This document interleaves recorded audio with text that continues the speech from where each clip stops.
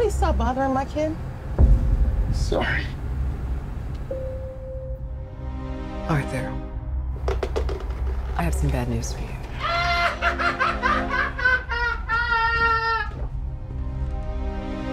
This is the last time we'll be meeting.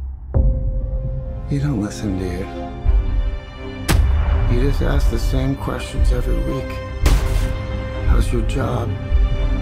Are you having any negative thoughts? All I have are negative thoughts. And finally, in a world where everyone thinks they can do my job, check out this guy.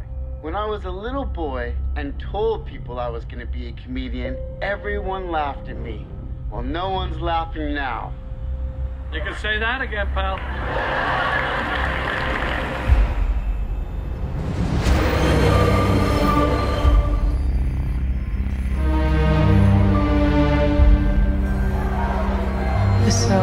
Awful, isn't it?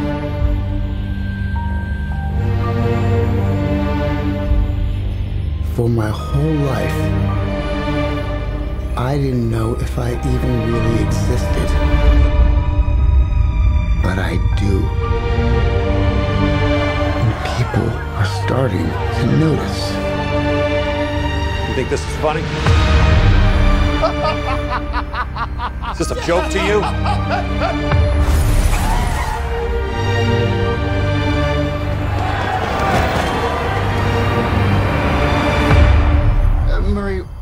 One small thing.